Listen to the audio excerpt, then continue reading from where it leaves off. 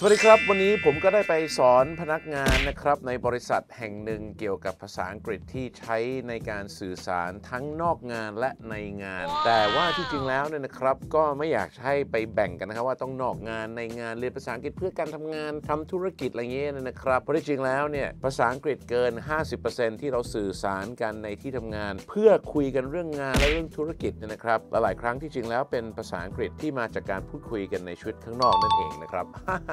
ดังนั้นเนี่ยนะครับวันนี้ผมก็จะมีตัวอย่างเนี่ยนะครับมาสาธิตให้ดูที่เราได้ไปสอนเนี่ยนะครับพนักงานตามองค์กรเนี่ยนะครับเพราะผมก็เดินสายไปตามองค์กรทุกวันเนี่ยนะครับในช่วงนี้แล้วก็แน่นอนครับเราก็มีคลาสออนไลน์กันด้วยดังนั้นวันนี้เนยนะครับเราจะมาดูศัพท์ภาษาอังกฤษเกี่ยวกับเรื่องที่ผมบอกเลยฮะว่า ไม่ต้องเรื่องงาน ไม่ต้องเรื่องธุรกิจแค่รู้ไว้ก็สามารถที่จะคุยกับชาวต่างชาติได้ในหลาย ๆ เรื่อง เพราะเรื่องนี้เป็นเรื่องที่เขาบอกว่าไม่เข้าใครออกใคร นั่นก็คือเรื่องของเงินนั่นเองครับดังนั้นวันนี้โอเค Topic Champion ของเรามีชื่อตอนว่า English about money นั่นเองครับ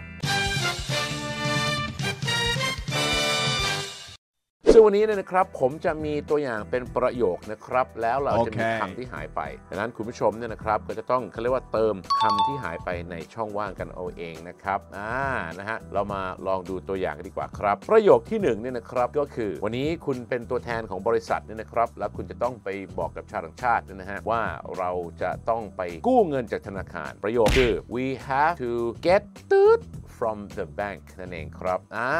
we have to get ตืด from the bank อืมนะครับไอ้ตืดเนี่ยคืออะไรครับกู้เงินครับผมเราต้องกู้เงินจากธนาคารอ่ากู้เงินเราต้องไปกู้เงินใช่คืออะไรคืออะไรนะครับคำตอบนะครับ we have to get a loan นั่นเองครับ ใช่แล้วครับ A L O N E เราจะต้องไปอยู่คนเดียวที่แบงก์จะบ้าแล้วจ้าตัวเธอ อันนั้นมันคนละ alone นั่นเองนี่นะครับอะเว้นวรรค loan L O A N a loan ก็จะแปลว่าการกู้ยืมเงินนะครับ เพราะที่จริงคำว่า loan แปลว่าการให้ยืมอย่างเป็นทางการ มีการจดด้วยนะฮะ มีการนะฮะบันทึกกันไว้ด้วยทีเดียวนะครับดังนั้น get alone ก็คือได้รับการ ให้ยืมของธนาคารนั่นเองครับสองนะครับแหน่ทุกวันนี้ผมไปห้างไหนเนี่ยนะครับก็จะเห็นโปรโมชั่นเนี่ยนะครับอันนี้เป็นพิเศษเลยนะครับนั่นก็คืออะไรฮะนั่นก็คือคุณสามารถที่จะผ่อน 10 เดือนดอกเบี้ย0%อ่านะครับเรามาลองดูตัวอย่างของประโยคนะฮะ you can pay 10ตืดก็คือจ่ายเงินได้ 10 งวดนะครับหรือผ่อนได้ 10 งวด you can pay 10ตืด at 0%ตืดนั่นเองครับอ่าว่ายังไงฮะคำที่หายไปนั่นนะครับเป็นเงินผ่อนนะฮะก็คืองวดนะครับก็คือค่างวดเนาะกับดอกเบี้ยนั่นเองครับ you can pay 10ตืด at 0%ตืดนั่นเองครับ ผมใบ้ก็ได้อะทั้งสองคำเริ่มต้นด้วยตัวอักษร i นั่นเองครับคำตอบนะครับคือ you can pay 10 installments นะครับหรือบางคนจะใช้ monthly payments ก็ได้นะครับ you can pay 10 installments นะครับ at 0% interest นั่นเองครับอ่านะฮะ จ่ายได้ 10 งวดนะฮะที่ดอกเบี้ย 0%นั่นเองครับ ข้อที่ 3 นะครับเป็นเรื่องเงินเหมือนกันนะครับ วันนี้อาจจะไม่ได้เป็นเรื่องเงินแบบเรื่องเงิน เรื่องเงินของการคุยที่ทำงาน ทางการเกี่ยวกับธุรกิจอะไรต่างๆนะครับแต่ก็อาจจะเป็นการคุยกันเนี่ยนะครับ มันก็เป็นภาษาอังกฤษที่เราคุยที่ทำงานกับเพื่อนร่วมงานชาวต่างชาติก็ได้นะครับคำถามก็คือ ฉันไม่สามารถที่จะไปเสาร์อาทิตย์นี้ได้ เพราะฉันถังแตกนะนะครับ I can't go this weekend because I am ตืด นั่นเองครับอ่านะฮะ I ตืดเองนะครับคืออะไรครับนี่คือข้อที่ 3 นะครับคุณผู้ชมครับดังนั้นคำตอบนะครับถังแตกนะฮะฮะอะไรนะ broken bucket ไม่ broke back mountain ไปเลยละครับพี่น้องครับแหมถังแตกก็แปลกันตรงตัวอย่างนั้นก็เป็นคนละถังสิครับขอโทษ I am broke นั่นเองนะครับ I can't go this weekend because I'm broke นั่นเองครับ ข้อต่อไปคือข้อทีสี่4 นะฮะ ข้อทีสี่ 4 นะครับ วันนี้ อาจจะมีการพูดคุยว่าเครื่องจักรที่โรงงานที่บริษัทอาจจะเริ่มเสียเริ่มพัง ก็เลยต้องมีการซื้อเครื่องใหม่นะฮะแล้วเขานะฮะนำเสนอราคามานั่นนะครับที่แบบโอ้โหค่อนข้างจะราคาแรงแซงโค้งแบบสู้ราคาไม่ไหว เราก็เลยอยากจะบอกว่าเราไม่สามารถที่จะสู้ราคาเครื่องจักรใหม่นี้ได้นั่นเองนะครับคำถามคือ we can't ตืด the new machines นั่นเองครับตืดคืออะไรครับ we ตืดตืดโอ้ยนะครับ we can't ตืด the new machines ว่ายังไงครับว่ายังไงนะฮะและคำตอบนะครับคือ we can't afford the new machines นั่นเองครับนี่นะฮะ we can't afford the new machines ข้อต่อไปคือข้อที่ 5 นั่นเองนะครับ บริษัทของเราติดหนี้นะฮะอีก นะฮะอีกงานหนึ่งหรืออีกหน่วยหนึ่งหรือลูกค้าหรือใครก็ได้นั่นนะครับ เราอยากจะรายงานกับทางต่างชงต่างชาตินะครับว่าเราติดหนี้เขาอยู่ 50,000 บาทนะฮะ we took them 50,000 บาทนั่นเองนะครับ we took them 50,000 บาทตืดตรงนี้คืออะไรครับมานะฮะว่ายังไงจ้าว่ายังไงจ้าและคำตอบนะครับคำว่าติดหนี้คืออะไรครับนะก็คือ we owe them 50,000 บาทนั่นเองครับ O W E ก็แปลว่าติดหนี้นั่นเองครับข้อที่ 6 นะครับ วันนี้ช่วงนี้เศรษฐกิจแย่เนาะเราก็เลยอยากจะบอกนะครับว่าบริษัทของเรานั้นเป็นหนี้นั่นเองครับคืออะไรครับ our company is ตืดนั่นเองครับอืมนะฮะ our company is ตืดนะฮะ ว่ายังไงคะว่ายังไงคะ อะไรนะ our company is debt ใช่ไหมอ๋อจอห์นนี่เด p เป็นเจ้าของอืมหรือว่าเป็นความลึกเหรอ debt debt ใช่ไหมอ๋ออะไรนะ our company is debitor debitor ไม่ใช่นะครับคำว่าหนี้สิน D E B T ตัว B ไม่ออกเสียงครับ เป็น debt ถุย debt ถุยฮะ แล้วคุณต้องใส่ตัว in ด้วยนะครับ เพราะถ้าไม่มี in ไปบอก our company is debt เดี๋ยวก็ตกใจนุกบริษัทตายหากันหมดเนี่ยนะฮะ our company is in debt นั่นเองครับ อยู่ในภาวะหนี้สินนั่นเองครับ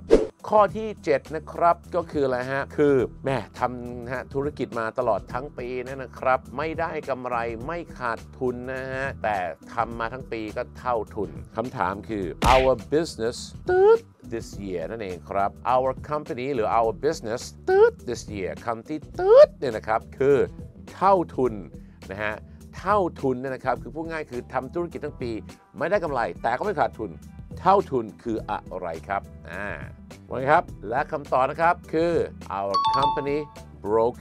even this year นั่นเองนะครับ broke even มาจาก break even ที่เป็นนะฮะเขาเรียกช่องหนึ่งนะครับอะอะไรนะครับ break even มันแปลว่าจุดคุ้มทุนนะครับคุณคริสนั่นมัน break even point นั่นเองนะครับ break even point แปลว่าจุดคุ้มทุน แปลว่าอะไรครับ แปลว่าคุณนั้นกำลังจะทำธุรกิจ แล้วคุณก็ไปลงทุนนึกออกไหมไปลงทุนธุรกิจอะไรบางอย่างเนี่ยนะครับ แล้วคุณก็มาดูซิว่าจุดคุ้มทุนเนี่ยมันจะอยู่ที่เท่าไหร่ คือพูดง่ายคือคุณอาจจะลงทุนไปล้านห้าดังนั้นคุณจะต้องเอาเงินคืนมานะครับ ก็คือรวมถึงค่าใช้จ่ายค่านะค่าจงค่าจ้างนะครับ รายจ่ายทั้งหมดในสมมติว่าสัก 3 ปี แล้วมารวมกันกับเงินลงทุนแล้วก็ค่าใช้จ่ายทั้งหมดเนยนะครับ แล้วดูสิครับว่าคุณจะต้องได้กำไรเท่าไหร่ นั่นก็ครับคือจุดคุ้มทุนนะฮะแต่ถ้า break even จะแปลว่าทำธุรกิจมาแล้วก็เท่าทุน หรือ 2 คืออะไรครับ คือได้นะฮะเงินทุนคืนนั่นเองครับ คือพูดง่ายคือได้เงินทุนคืน คือลงทุนไปล้านห้าแล้วธุรกิจของคุณเนยนะครับ ก็ทำไปทำมาคุณก็ได้เงินคืนมานะครับเป็นได้เงินทุนคืนมา ดังนั้นหลังจากนี้เป็นต้นไปก็จะเป็นเงินกำไรละนั่นเองครับ เอา 7 ข้อพอนะฮะ เพราะจริงๆแล้วผมมีเป็น 10 10 ข้อเลยครับผมนะฮะ ดังนั้นก็มาติดตามคลิปต่อไปนะครับ แต่ถ้าอยากจะเรียนสนุกๆ แบบนี้ก็แน่นอนครับ สามารถที่ยังจะเข้ามาแจมกับคลาสออนไลน์เราได้นะครับ เพราะว่าเราก็จะเรียนภาษาอังกฤษแบบเนี้ยนะครับภาษาอังกฤษแบบที่มันไม่ยากจนเกินไป แล้วก็ยังสนุกง่ายใช้ได้จริง แต่เป็นภาษาอังกฤษที่ใช้ที่ทำงาน และในการทำธุรกิจกับคลาส Basic English for Work and Business นั่นเองนะครับแต่ว่าแน่นอนครับถ้าสนใจก็เข้ามาเรียนกับเราได้นะครับเราสอนกันหมด 10 ครั้งสอนสดโดยอาจารย์คริส Facebook Live กลุ่มปิด วันอังคารวันพุธนะครับ2ทุ่มถึงวัน4ทุ่มครึ่งนะครับ แล้วก็แน่นอนฮะถ้าติดตามไม่ทัน แล้วก็กลับมาดูย้อนหลังได้ เพราะว่าจบคอร์สปุ๊บเราเรียนกัน 10 ครั้งเหรอเราแถมครั้งด้วยนะครับ และจริงๆลงเรียนกัน 2 ชั่วโมงเราแถมชั่วโมงด้วย ราคาเท่าไหร่ละครับ กี่พันละคะ กี่พันอยู่แถวบ้านคุณสิครับ